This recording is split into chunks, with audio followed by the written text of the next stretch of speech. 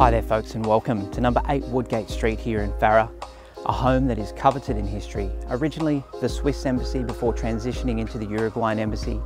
Since that period, three families have called this place home. It's a five bedroom home with three bathrooms.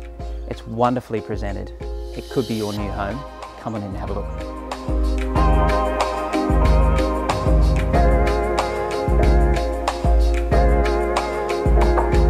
With block size of just under 1200 square metres and living space of 350, the opportunities here are endless. There is loads of storage and a massive rumpus room downstairs for the kids.